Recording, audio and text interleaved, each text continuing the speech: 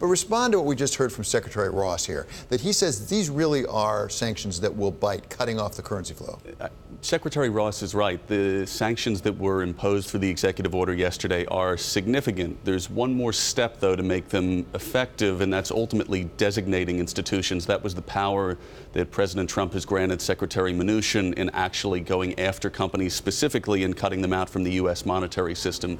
The EO set up the mechanism for that to happen. The next step is to actually list a specific company that effectively implements the sanctions. And what do we know about the extent to which China is really cooperating? cooperating in these new sanctions? So I, I spend quite a lot of time in Beijing, and there's been a number of moves that the Chinese central bank have made in the past year where they've effectively tried to up the ante for Chinese institutions to focus on uh, tougher anti-money laundering, tougher sanctions controls. The memo that's been reported that was sent to the banks in China telling them to cut off uh, transactions and wind down existing loans, it does seem like a legitimate threat. And, and, realistically, there's only one part of the country that's still a concern for Chinese banks, and that's the Dandong region of China.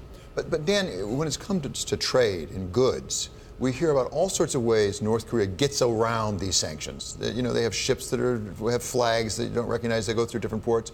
Can they get around these sanctions in a practical manner? Are there other ways to get the cash in? Any sanctions program can effectively be gotten around. There's always been circumvention attempts that have happened. Uh, it's hard to say what will essentially happen from a circumvention standpoint. There's been reports of Russia and Chinese entities that have tried to bypass the sanctions to date. No sanctions program is foolproof. There will always be some way that someone will try and get around it. How do these sanctions compare to those that uh, the U.S. put on Iran?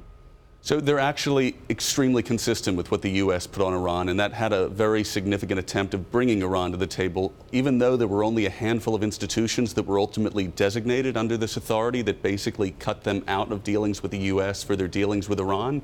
It's identical. But the point that, that the market needs to realize is that that took a couple years to really take a grip and bring Iran to the negotiating table. These sanctions don't move with any immediacy to forcing any sort of behavioral change.